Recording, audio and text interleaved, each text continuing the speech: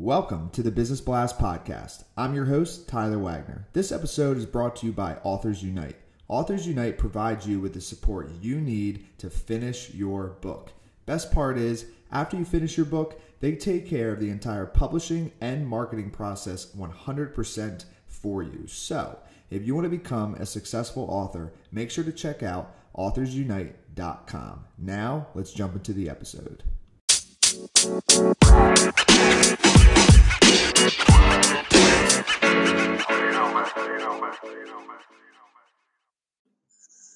All right, everyone, welcome back to another episode of the Business Blast podcast. I am your host, Tyler Wagner.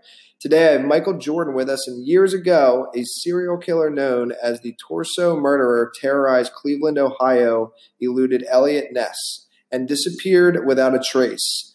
Michael's book asks, What if the killer returned today? So, welcome to the show, man. Hey, thank you very much, Tyler. Appreciate it. Of course. Grateful to have you here. So, first one I got for you is what is the best story from your life that has an underlying valuable message? I think it's probably the fact that I overcame a lot of adversity when I was a young kid. Speech impediment, a small town, not much going on, and uh, I worked hard all my life and uh, was able to have a very good uh, career. And now I'm uh, doing things I really wanted to do, which is number one, write a novel. So things worked out quite well. Perseverance is the key. And what is the most valuable piece of information we should know that's within your expertise or industry? Well, one thing I learned in, when I became very focused on writing, Tyler, is that it's important to make sure your focus in fiction writing remains on the characters. Uh, your plot is important, your settings are important, but the number one thing is to make sure your readers will care about the characters. That keeps the pages turning. And what is your best piece of overall business advice? So, not necessarily industry specific. I think the number one is perspiration is indeed the key to inspiration and success. Uh, there's a lot of very bright people out there you'll be competing with, whatever business you're in. And the one way to make yourself stand out, make people notice you and your work product, is to work and work very hard. And if you could give your younger self one piece of advice, what would that be? Uh, if you have a passion like writing, uh, don't wait. Always find time in your life to pursue what means something deeply deep to you as a person.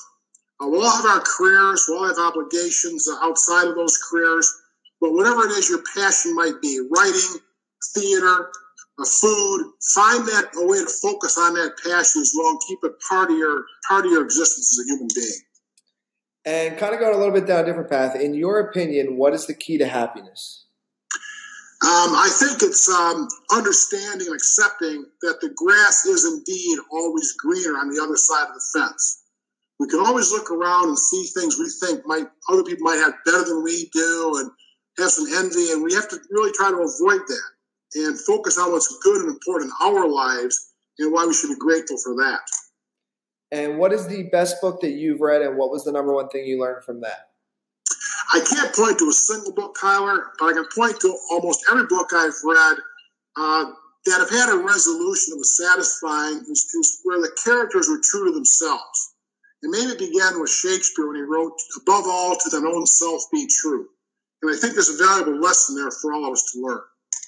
And what is your favorite quote and why? Uh, there's many variations I've heard of this quote, but I'll tell you what I really think uh, it is. It's that uh, it doesn't matter that you get knocked down by life. It matters that you get up. Mm. Because we all will be knocked down by life. We try to do anything. We try to be successful in any endeavor. We'll run into roadblocks and hurdles and disappointments. And the key is to learn from those experiences and get up and keep going to chase the dream. Absolutely, man. Um, the uh, last one I have for you, thank you for coming on, is where can our audience best find you online?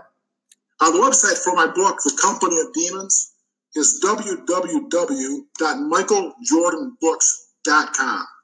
Perfect. Thanks again for coming on. Thanks for having me, Tyler. Really enjoyed it. The podcast you just heard was made using Anchor. Ever thought about making your own podcast? Anchor makes it really easy for anyone to get started. It's a one stop shop for recording, hosting, and distributing podcasts. Best of all, it's 100% free. Sign up now at anchor.fm slash new. That's anchor.fm slash new to get started.